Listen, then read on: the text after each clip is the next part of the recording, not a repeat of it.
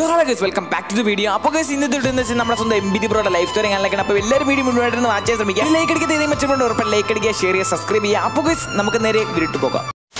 രണ്ടായിരത്തി പത്തൊമ്പത് സെപ്റ്റംബർ ഒന്നിന് ഒരു പതിനേഴുകാരൻ യൂട്യൂബ് ലോകത്തേക്ക് കടന്നു വരികയാണ് പതിനേഴുകാരന്റെ ചാനലിൽ ടെക് റിലേറ്റഡ് കണ്ടന്റ് മാജിക്കിനെ പറ്റിയുമുള്ള പലതരത്തിലുള്ള കണ്ടന്റുകൾ അദ്ദേഹത്തിന്റെ ചാനൽ അപ്ലോഡ് ചെയ്തുകൊണ്ടിരുന്നു. പക്ഷേ അദ്ദേഹം പ്രതീക്ഷിച്ച സപ്പോർട്ടുകളൊന്നും അദ്ദേഹത്തിന്റെ വീഡിയോയിൽ ലഭിച്ചിരുന്നില്ല. അങ്ങനെ അദ്ദേഹം അദ്ദേഹത്തിന്റെ ക്ലാസ്സിൽ പോയിട്ട് എല്ലാവരോടും പറയുകയാണ് എനിക്കൊരു ചാനലുണ്ട് എല്ലാവരും ഇങ്ങനെ സബ്സ്ക്രൈബ് ചെയ്ത് എന്നെ സപ്പോർട്ട് ചെയ്യണമെന്ന്. പക്ഷേ അദ്ദേഹത്തിന്റെ കൂട്ടുകാർ അതൊന്നും കേട്ട് മൈൻഡാക്കാൻ കൂടി തയ്യാറായിരുന്നില്ല. അങ്ങനെ തന്റെ ക്ലാസ്സിൽ പഠിക്കുന്ന ഒരു പബ്ജി യൂട്യൂബറോട് എന്നെ സപ്പോർട്ട് ചെയ്യുമെന്ന് ചോദിച്ചു. ആടെ സപ്പോർട്ട് ചെയ്യുമെന്ന് പറഞ്ഞു. അങ്ങനെ അദ്ദേഹം നമ്മുടെ കഥാനായകനെ അദ്ദേഹത്തിന്റെ വാട്സ്ആപ്പ് ഗ്രൂപ്പിലേക്ക് ആഡ് ചെയ്യുകയാണ്. ആ സമയത്ത് നമ്മുടെ കഥാനായകന് എന്തെന്നില്ലാത്ത സന്തോഷമായത്? ഇനി താൻ അപ്ലോഡ് ചെയ്യുന്ന എല്ലാ വീഡിയോസിനും നല്ല സപ്പോർട്ട് കിട്ടുമെന്ന് വിചാരിച്ചു. പക്ഷേ അദ്ദേഹത്തിന്റെ സന്തോഷത്തിന് അധികം നാൾ ആയുസ് ഉണ്ടായിരുന്നില്ല കാരണം എന്തെന്നാൽ അദ്ദേഹത്തിന്റെ ചാനലിൽ ഒരു വീഡിയോയുടെ ലിങ്ക് എടുത്ത് ആ ഗ്രൂപ്പിലേക്ക് ഇടുകയാണ്. ആ സമയത്ത് ആ ഗ്രൂപ്പിലുണ്ടായിരുന്ന എല്ലാവരും അദ്ദേഹത്തെ വല്ലാതെ വഴക്ക് പറയുകയും പിന്നീട് അദ്ദേഹത്തെ ആ ഗ്രൂപ്പിൽ നിന്ന് റിമൂവ് ആക്കുകയും ചെയ്തു. ആ സമയത്ത് അദ്ദേഹം വളരെയധികം സെഡ് ആവുകയാണ്. തന്നെ സപ്പോർട്ട് ചെയ്യുമെന്ന് പറഞ്ഞ കൂട്ടുകാരൻ സഹിതം അദ്ദേഹത്തെ വല്ലാതെ വഴക്ക് പറഞ്ഞു ആ സമയത്ത്. അങ്ങനെ അദ്ദേഹം അവിടെ വെച്ചൊരു തീരുമാനം എടുക്കുകയാണ്. തന്നെ കളിയാക്കിയോട് മുന്നിൽ തന്നെ പരിഹരിച്ചോട് മുന്നിൽ തനിക്ക് ഒരു വലിയൊരു യൂട്യൂബറായി കാണിക്കണമെന്നുള്ള വാശി അദ്ദേഹത്തിന് അവിടെ നിന്ന് ഉണ്ടാവുകയാണ്. അങ്ങനെ അദ്ദേഹം ഇത്രയും ചെയ്ത കണ്ടന്റ് മാറ്റിയതിനു ശേഷം ഫ്രീ ഫയർ എന്ന കണ്ടന്റിലേക്ക് കടന്നു വരികയാണ്. അങ്ങനെ രണ്ട് വീഡിയോസ് ഇട്ടതിന് ശേഷം അദ്ദേഹം നൂറ് സബ്സ്ക്രൈബറിന്റെ മധുരം എന്താണെന്ന് അറിയുകയാണ്. അപ്പോൾ അദ്ദേഹത്തിന് മനസ്സിലായി തനിക്ക് ഫ്രീ ഫയർ കണ്ടന്റ് ഇട്ട് കഴിഞ്ഞാൽ വളരാൻ കഴിയുമെന്ന്. അങ്ങനെ അദ്ദേഹം ഫ്രീ ഫയറിലെ ഇവന്റ്സ് ആൻഡ് അപ്ഡേറ്റ്സിനെ പറ്റിയുള്ള വീഡിയോസുകൾ ഡെയിലി അപ്ലോഡ് ചെയ്തുകൊണ്ടേയിരുന്നു. അങ്ങനെ അദ്ദേഹം ഏതാണ്ട് ഒരു ഇരുന്നൂറ്റമ്പത് വീഡിയോസുകൾ ആയതിനു ശേഷം മോണിറ്റൈസേഷൻ എന്നത് കംപ്ലീറ്റ് ആവുകയാണ്. അന്ന് അദ്ദേഹം വളരെയധികം സന്തോഷവാനാണ്. താൻ ഇത്രയും നാൾ കഷ്ടപ്പെട്ടതിന് ഫലം ഉണ്ടാവാൻ പോകുന്നു എന്ന് അറിഞ്ഞ് അങ്ങനെ അദ്ദേഹം മോണിറ്റൈസേഷന് വേണ്ടി അപ്ലൈ ചെയ്യുകയാണ്. പക്ഷേ അത് യൂട്യൂബ് റിജക്ട് ചെയ്യുകയാണ് ചെയ്തത്. കാരണം എന്തെന്നാൽ അദ്ദേഹത്തിന്റെ ചാനൽ റീയൂസ്ഡ് കണ്ടന്റ് ഉള്ളത് കാരണമാണ് യൂട്യൂബ് അത് റിജക്ട് ചെയ്തത്. അങ്ങനെ നമ്മുടെ കഥാനായകൻ തന്റെ ചാനലിലെ വീഡിയോസുകളെല്ലാം ചെക്ക് ചെയ്യുകയാണ്. പക്ഷേ അദ്ദേഹത്തിന് ഏത് വീഡിയോ ആണെന്ന് തിരിച്ചറിയാൻ കഴിഞ്ഞില്ല. പിന്നീട് അദ്ദേഹം രണ്ടാമത്തെ തവണ യൂട്യൂബിലേക്ക് മോണിറ്റൈസേഷന് വേണ്ടി അപ്ലൈ ചെയ്യുകയാണ്. അതും റിജക്ട് ചെയ്യുകയാണ് യൂട്യൂബ്. അങ്ങനെ നമ്മൾ കഥാനായകൻ പലയിടത്തും സഹായം ചോദിച്ചു. പക്ഷേ എല്ലാവരും ശ്രമിച്ചു നോക്കി ഏതാണ് റീയൂസ്ഡ് കണ്ടന്റ് എന്ന്. ഇരുന്നൂറ്റമ്പത് വീഡിയോസ് ഉള്ളത് കാരണം അത് ഏത് വീഡിയോ ആണെന്ന് കണ്ടുപിടിക്കാൻ ഏറെ ബുദ്ധിമുട്ടായിരുന്നു. അങ്ങനെ കുറച്ച് ദിവസങ്ങൾക്ക് ശേഷം അദ്ദേഹത്തിന്റെ ചാനൽ തുടങ്ങി ഒരു വർഷമാവുകയാണ്. തന്റെ മോണിറ്റൈസേഷന്റെ വാച്ച് ടൈം പൂജ്യത്തിലേക്ക് ചെന്നെത്തി നിൽക്കുകയാണ് അങ്ങനെ നമ്മുടെ കഥാനായകൻ മനസ്സില്ലാ മനസ്സോടെ താൻ അപ്ലോഡ് ചെയ്ത ഇരുന്നൂറ്റമ്പത് വീഡിയോസും ഡിലീറ്റ് ചെയ്യുകയാണ്. ഏതാണ് റീയൂസ്ഡ് കണ്ടന്റ് എന്ന് അറിയാത്തത് കാരണം. അങ്ങനെ നമ്മുടെ കഥാനായകൻ ഡെയിലി സ്ട്രീമിംഗ് സ്റ്റാർട്ട് ചെയ്യുകയാണ്. അങ്ങനെ അദ്ദേഹത്തിന്റെ ഏറെനാളത്തെ കഷ്ടപ്പാടിനൊടുവിൽ വീണ്ടും മോണിറ്റൈസേഷൻ കംപ്ലീറ്റ് ആവുകയാണ്. അങ്ങനെ ഒടുവിൽ അദ്ദേഹത്തിന് യൂട്യൂബിൽ നിന്ന് റവന്യൂ ലഭിച്ചു തുടങ്ങുകയാണ്. അങ്ങനെ നമ്മുടെ കഥാനായകൻ വീണ്ടും കഷ്ടപ്പെട്ട് വീഡിയോസുകളിട്ട് ഷോർട്സുകളിട്ട് ഹാർഡ് വർക്ക് ചെയ്ത് ഇന്ന് ഒന്നേ പോയിന്റ് പതിനൊന്ന് ലക്ഷമുള്ള ഒരു യൂട്യൂബ് ചാനലിന് ഉടമ കൂടിയായി മാറി തീർന്നിരിക്കുകയാണ് ഞാൻ പറഞ്ഞത് മറ്റാരെ പറ്റിയിട്ടല്ല നമ്മുടെ സ്വന്തം എം ടി ബ്രോയെ പറ്റിയിട്ടാണ്. ഇദ്ദേഹം എന്നോട് പറഞ്ഞൊരു കാര്യമുണ്ട്. ഞാൻ അപ്ലോഡ് ചെയ്ത ഇരുന്നൂറ്റമ്പത് വീഡിയോസ് ഞാൻ ഇപ്പോഴും വല്ലാതെ മിസ് ചെയ്യുന്നുണ്ടെന്ന്. ഇപ്പൊ നിങ്ങൾ ആലോചിക്കുന്നുണ്ടായിരിക്കും ഇത്രയും വലിയ സബ്സ്ക്രൈബ് കൊണ്ട് എത്തിയതിനു ശേഷം അന്ന് ഡിലീറ്റ് ചെയ്ത ഇരുന്നൂറ്റമ്പത് വീഡിയോസിന് വേണ്ടി വിഷമിക്കാൻ ഇവനെന്ത് ഭ്രാന്താണോ എന്ന്. അങ്ങനെയല്ല ഗൈസ് കൈമാസിന്റെ ക്രാക്കഡ് വെർഷൻ ഉപയോഗിച്ചുകൊണ്ട് തന്റെ മൊബൈലിൽ ലാഗുകൾ സഹിച്ചുകൊണ്ട് കഷ്ടപ്പെട്ട് രാവെന്നോ പകലെന്നോ നോക്കാതെ ചോര നീരാക്കി ഉണ്ടാക്കിയ വീഡിയോസുകൾ ഒറ്റ നിമിഷം പോയത് കൊണ്ടാണ് അദ്ദേഹത്തിന് ഇത്രയും മിസ് ചെയ്യുന്നത്. ഞാൻ നിങ്ങളോട് ഒരു കാര്യം കൂടി പറഞ്ഞുതരാം. പരാജയം എന്ന